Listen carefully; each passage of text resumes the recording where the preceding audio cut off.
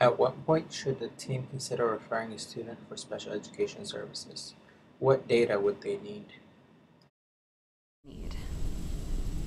Well, the, the answer to that question really depends a lot on how the state has crafted its policy and guidelines around um, uh, special education eligibility. And so I'll talk using the example of Idaho's um, SLD policy.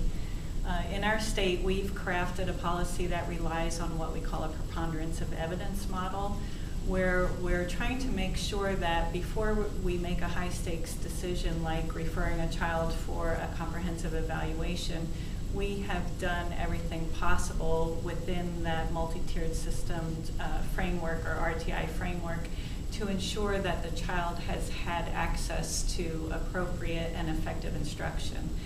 And so one of the things we want to collect, for example, is the child's progress and performance relative to grade level performance standards. And we also want some indication as to the general effectiveness of classroom instruction. We also want to then figure out what has been offered in terms of intervention services and also look at both the individual impact, so has the student made progress in that intervention, is the intervention uh, an adequate and appropriate fit to their learning needs? And then how are other children who are receiving that intervention performing? And the rationale for doing that is to ensure, again, that we've done everything possible to provide an optimal learning environment for the student because uh, that referral for evaluation, again, it's a high stakes decision both for the child, uh, their family, as well as the school.